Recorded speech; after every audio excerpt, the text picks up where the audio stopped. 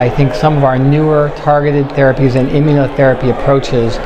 are really going to really blend in well with surgery so that surgery is the one way that we can tell if somebody's treated with a systemic agent alone. Say they get immunotherapy alone they have a complete response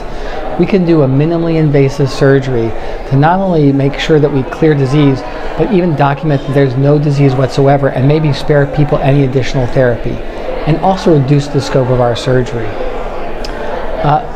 the second thing I would say is that we are going to have a whole host of imaging technologies available. They're just really starting to become clinically applicable, where we're going to know exactly where a tumor is, even a microscopic tumor, so that when we do surgery, we can make sure we get all of the cancer the high percentage of the time and reduce the need for additional therapies that could be debilitating in combination with therapy. So we can really choose who's good for surgery and maybe who's not good for surgery, who really can't benefit from a surgical approach, and is better treated with other therapeutic approaches like radiation, chemotherapy, and immunotherapy and targeted therapy.